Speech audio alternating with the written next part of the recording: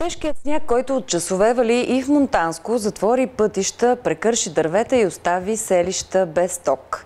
Заради обилния снеговалеж, около 4 часа и 30 минути бе затворен пътят през селата Доктор Йосифово и Студено Буче. Трафикът бе възстановен рано сутринта.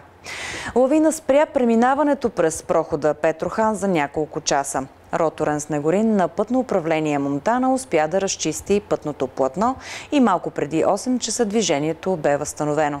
През целия ден от натежалите скатове по високопланинския път падаха тежки снежни преспи. Натежало от снега дърво затвори пътя за село Дива Слатина, община Георги Дамяново. Без ток останаха села от общините Вършец, Берковица и Монтана. До 40 см е снежната покривка в високопланинските села на община Գյումրին է Գյորգի Դմյանովը